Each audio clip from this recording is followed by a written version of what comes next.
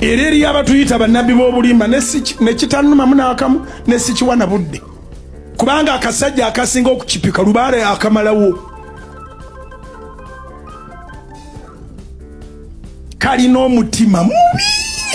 Bannange buli omutima ne baguteeka mu bukya teryakuwula kafu kafu kafu kafu ne bwokasanga n'okubuuza naye wali omuntu omu omulungi era ng'akola bituufu? Mu uganda muno tekamulina ko ke katuufu naye ke kabbi ke katasasula bakozi. Kafu kafu kafu. Tekakyatwononera budde. Era tekakikiriza nti katonda yakagoba. Katonda tasobola kuzizika kanisa mu mbirizi ng'okyali w'amaanyi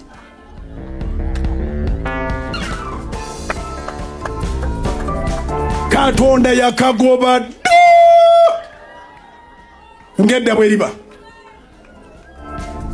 era kabeera kalinda bulinzi kiki ekinatubaako kalandukire okwo. Kafu nako kenyini kemanyi. Kafu. Ate tekalina magezi.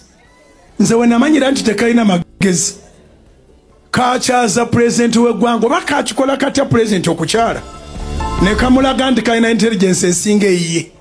Nekamugamba ssebo mu uganda yonna amakanisa gajjudde emirambo. Oli omusajja bamuyita saabalwanyi gwe n'omanyi ekanisa gye baziikamu abantu nga ye tamanyi. Wenamanyira nti tekalina magezi. Okuvako lunakkiriza katooletoole. Okuva ku olwo nakkiriza katooletoole era owekitiibwa pulezidenti nga bomumanyi nti magezi meereere bwe yasituka yakola komenti ntono nnyo. Nakagamba naye tulaba nga wetisa ebintu bingi nga sigooteeko byetika. Ketisa emizimu. Tuli kanisa ntuufu ddala!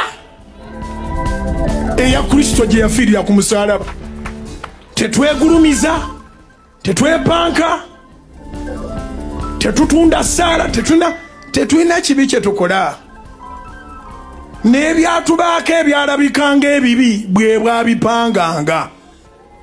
Era bwabipanganga bwekwese bwe bwamala ne bweyoleka.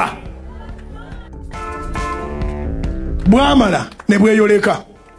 Nakalabanga katudde n'emunywanyi waako. Nendowooza kagenda muwasa naye abakazi bandibaddemu amagezi basobola okukusigula ne bakuwa nesente ne bakusuuza amaka agaabwe ne gabeerawo gwe nobeera mu nsi nga tolina kitiibwa. Nali manyi kamuwasizza kiwedde. Wa? Sitaani bw'ati akufiiriza eggulu nga taligendamu. Kiŋambire akuliraanye. Sitaani bw'atyo akufiiriza eggulu n'akuwaamu ebyoya by'enswa. Sitaani yafiirwa ekifo mu ggulu tayagala muntu agenda mu ggulu